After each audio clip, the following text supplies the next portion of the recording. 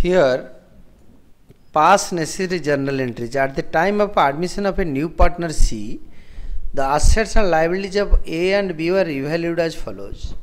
Hence, if uh, in this question 55, we will prepare a revaluation account, it will be better in the working notes, it will be better to pass journal entries. First, answer 55 working notes revaluation account. Just a minimal format. A provision for doubtful debt at the rate of 10% was to be made on sundry debtors of rupees 50,000. Increase in liability to provision on sundry debtors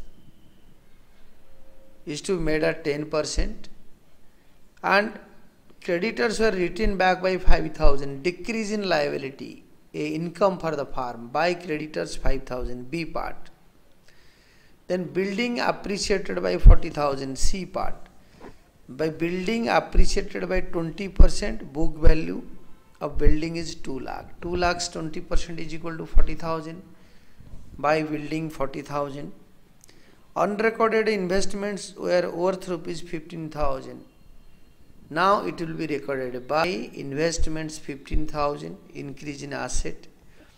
A provision for 2000 was made on outstanding bill for repairs increase in liability to outstanding repairs bill to out provision for doubtful debts 5000 fast adjustment increase in liability. And the adjustment number 5 a provision of 5000 was made for an outstanding bill for repairs to outstanding repairs rupees 5000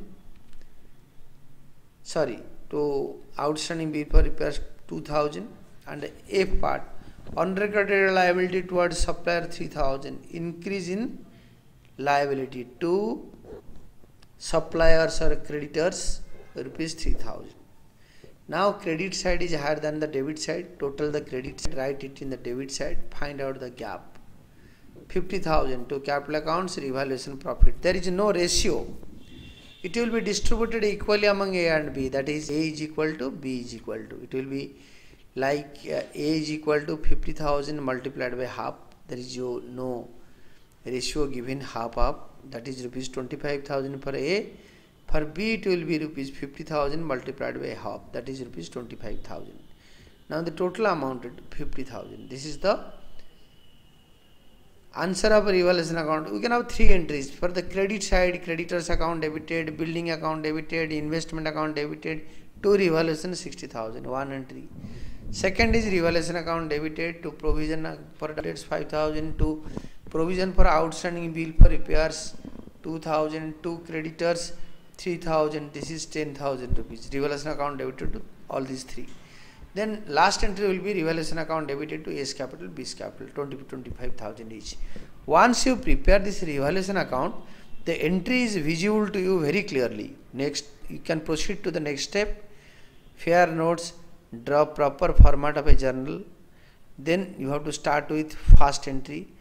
In the debit side, revaluation account debited 10,000 to provision for doubtful debts 5000 to provision for outstanding bill repairs bill 3000 to creditors 2000 being increase in the value of liabilities transferred to revaluation account. In the credit side we have three things.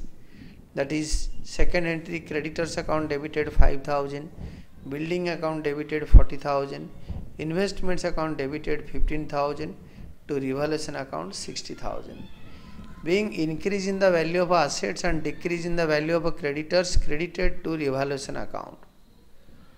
Then third part is yours. Revaluation account debited 50,000 to A's capital account 25,000 to B's capital account 25,000 being profit on revaluation transferred to partners capital accounts in old ratio. Now debit credit both are to be totaled and that is rupees 1 lakh 20,000 each. First one is the debit side items, second one is credit side, third one is the debit side items for profit. Now the totaling is done and this is the final answer.